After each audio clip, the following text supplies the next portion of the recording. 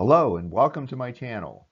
Google on Monday shipped emergency fixes to address a new zero-day flaw in the Chrome web browser that has come under active exploitation in the wild.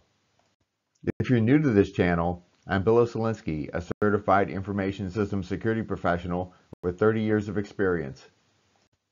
The high severity vulnerability tracked as CVE-2024-4761 is an out-of-bounds write bug impacting the V8 JavaScript and WebAssembly engine.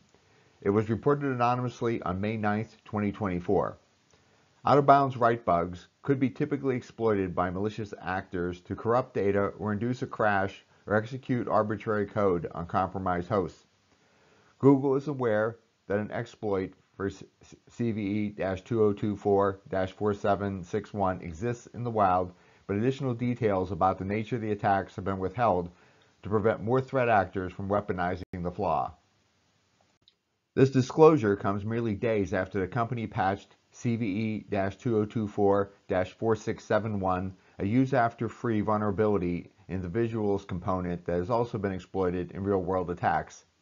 With the latest fix, Google has addressed a total of six zero days since the start of the year, three of which were demonstrated at the Pwn2Own hacking contest in Vancouver in March.